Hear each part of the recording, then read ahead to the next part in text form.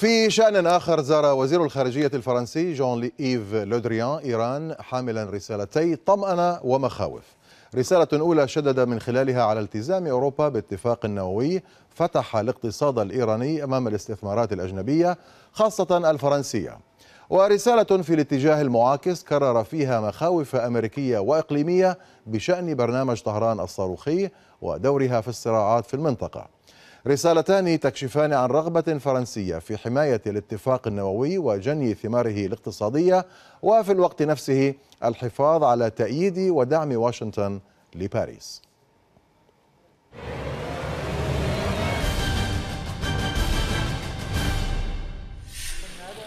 وسط مناخ دبلوماسي متوتر بين إيران من جانب وفرنسا وأوروبا عموما من جانب آخر جاءت زيارة وزير الخارجية الفرنسي جون إيف لودغيان إلى طهران.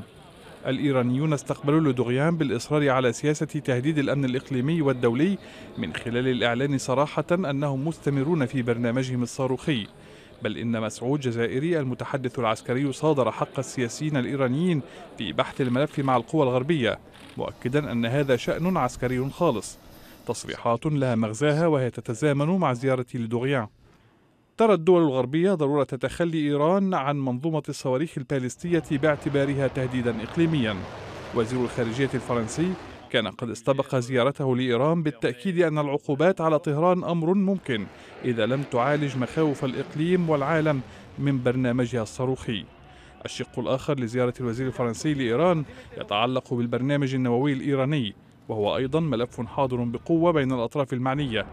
فإيران والقوى الأوروبية الثلاث الموقعة على الاتفاق فرنسا وألمانيا وبريطانيا تسعى للإبقاء على الاتفاق الموقع عام 2015 إلا أن الرئيس الأمريكي دونالد ترامب يسعى لتعديلات يراها ضرورية ولو في ملحق تكميلي يمنع إيران نهائيا من تطوير ترسانتها النووية. فترامب أعطى مهلة للدول الأوروبية الثلاث حتى الثاني عشر من مايو المقبل للبحث عن صيغة ترضي واشنطن. وإلا فإنه سينسحب من الاتفاق. وبين التمادي الإيراني في المضي قدما في تهديد الأمن الإقليمي ومواقف ترامب المعلنة من خطر طهران على المنطقة تبدو مباحثات لودوريان صعبة حتى ولو كان يسعى لمزيد من التعاون الاقتصادي مع إيران خدمة للشركات الفرنسية. معنا الآن من باريس أستاذ الجغرافيا السياسية والاستراتيجية الدكتور بسام الطحان. دكتور بسام مساء الخير. مرحبا بك معنا في غرفة الأخبار. نتحدث عن هذه الزيارة المهمة لوزير الخارجية الفرنسي لطهران. ما هي آه، مباعث القلق أو المخاوف الفرنسية فيما يتعلق بهذا الموضوع؟ فرنسا مؤيد أساسي وطرف مهم في مسألة الاتفاق النووي وتريد الحفاظ على هذا الاتفاق ولكن في المقابل هناك مخاوف فرنسية من بعض الجوانب الأخرى في آه، السلوك الإيراني ما هي أبرز هذه المخاوف برأيك؟ يعني هو في الحقيقة إن هامش المناورة أو التفاوض بالنسبة للوزير لودريون ضيقة جدا لسبب بسيط أن فرنسا اقتصاديا بحاجة إلى إيران فإيران تشكل سوقا يعني مهمة آه، أكثر من 90 مليون نسمة. وهناك عقود قد وقعت آه، مع شركة توتال لاستثمار حقول الغاز. وتقدر تقدر بالمليارات طبعا. م. وكذلك هناك عقد لشركة رونو. فإذا لودريون لا يستطيع أن يضغط تماما على إيران كما يجب أو كما يشاء له الأمريكان في ذلك لأن المصالح الاقتصادية طبعا هي مهمة لكل بلد م. هذه ناحية أما آه، ما اقترحه الرئيس آه، ماكرون في أنه يجب أن نصل إلى اتفاق متمم وهذه الكلمة مهمة جدا أي بالرغم من موافقة باريس وعدم معارضتها على الاتفاق النووي تود أن تضيف إلى هذا الاتفاق اتفاقا متمما آه، له علاقة بالتطور الصاروخي. ولكن هنا أيضا موقف فرنسا يبقى ضعيفا. لماذا؟ لسبب بسيط هو أن إيران تطرح نفسها كقوة إقليمية عظمى في المنطقة وطالبت بكل آه، يعني آه، بكل رصانة أن تزيل فرنسا أو أن تحد من قوتها الصاروخية كي تقوم هي بنفس الدور أي تقارن إيران نفسها بروسيا اليوم في علاقاتها البالستية أو النووية آه، الصاروخية آه، مع آه، أمريكا.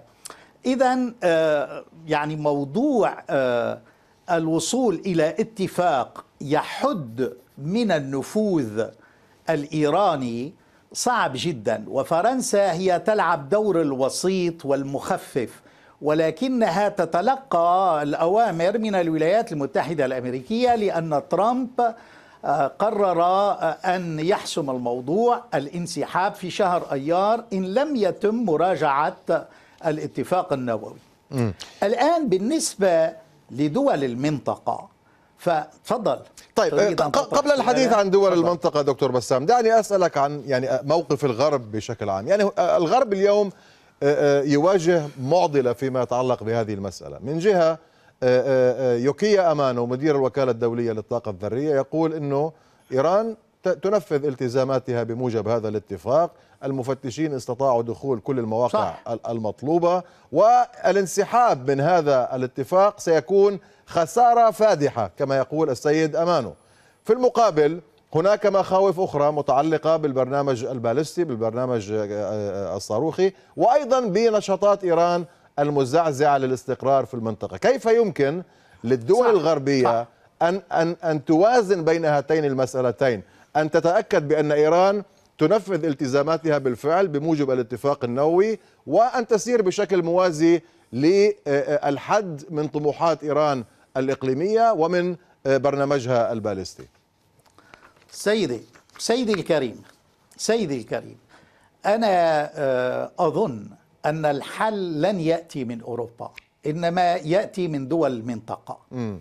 ما يسمى بالهلال الشيعي وأنا على فكرة أبو الهلال الشيعي تحدثت عنه منذ ثلاثين سنة وأخذته فيما بعد معاهد البحث الأمريكية وغيرها. م. وكانت هذه يعني موضوع محاضراتي في معهد الحرب في باريس.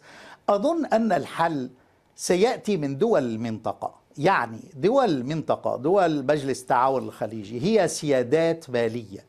ما الذي يمنع هذه السيادات المالية إلى أن تتحول إلى سيادات اقتصادية عسكرية وذلك بالاستناد إلى طبعا مجالس استشارية استشرافية م. أي كيف نتصور مثلا وضع آه، دولة الإمارات بعد ثلاثين سنة ما هو المخطط المرسوم لتطوير كل ذلك م. فأنا كل إيمان وثقة أن مثلا دولة الإمارات تستطيع أيضا أن تتجه إلى صناعة صاروخية. ما الذي يمنع الإمارات من أن تقيم مصنعا للصواريخ البالستية أه؟ يعني يجب أن يكون مقابل آه، المشروع الإيراني مشروع عربي ببساطة. ودول مجلس التعاون الخليجي قادرة على ذلك. يعني مثلا آه، بس هذا قد يفهم دكتور بسام بشكل من الإشكال من قبل البعض على الأقل إنه يعني فضل. أنت تدعو إلى نوع من سباق التسلح. يعني القدرات الدفاعية لدول المنطقة قدرات مهمة وهي أه. آخذة بتعزيزها ولكن أه. اذا إذا يعني كان هنا صاروخ بدنا نطلع صاروخ باله قد قد قد يفهمها البعض بأنها نوع من سباق التسلح لا لا ليس فقط ذلك. ليس شعبيا لا لا. لا هي شوف. لا لا لا اسمح لي اسمح لي اسمح لي. آه، التسلح آه، ليس بسباق هو أداة للردع. آه. السلاح لا يستخدم في الحقيقة هو للردع. هل استخدمت أمريكا أو روسيا إلى الآن سلاحا؟ هل استخدمت فرنسا سلاحا؟ أمريكا لا. استخدمت. كل هذه الأسلحة للردع. إذا هناك فلسفة اسمح لي هناك فلسفة للتسلح. م. الآن الإمارات ودول الخليج. كل هذه الدول تستطيع أن تكون قوة اقتصادية مثلا أن تحول اليمن إلى بلد آه، يعني فيه رغد العيش اليمن السعيد بقوتها الاقتصادية. ولا تقتصر على آه، فقط آه، إدارة الأزمات بطريقة عسكرية. وهذا معروف يعني. الآن كل المشكلة هو إلى الآن في العالم العربي نفتقد إلى معاهد البحث الاستراتيجي والإستشرافي. فالدواء هو في التخطيط السليم وفي اللجوء إلى علماء مختصين في كل مادة آه، من هذه المواد الاقتصاد. مثلا نجحت الإمارات بشكل رائع في إدارة المرافق البحرية والمعابر البحرية. حتى أن آه، الرئيس بوش وقف ضد الإمارات عندما دخلت في مناقصة لإدارة مرفأ في الولايات المتحدة. هذا خير دليل على أن طيب. الإمارات قد نجحت. لولا أنها نجحت لما رفض آه، بوش آه، يعني نعم. تدخل الإمارات في هذه المناقصة. إذا برأيي الحكامة أو الحوكمة الرشيدة هي فوق كل حكومة. آه. فالحكومة أداة تنفيذية. طيب، دكتور ولكن بسام، بد من آه، عقل. وقتنا هذا العقل. شرف على الانتهاء. تفضل. بدي أشكرك آه، وقتنا انتهى. وقت الإقمار الاصطناعية مع مع باريس آه، الدكتور أضيف بسام الطحان؟ ب- بعشر ثواني واحدة؟ بعشر ثواني. عشر ثواني. الحاكم القوي هو الحاكم الذي يحوط نفسه بنواعير نعم. من المستشارين الأكفاء شكرا جزيلا لك الدكتور بسام الطحان أستاذ الجغرافيا السياسية والإستراتيجية كان معنا من باريس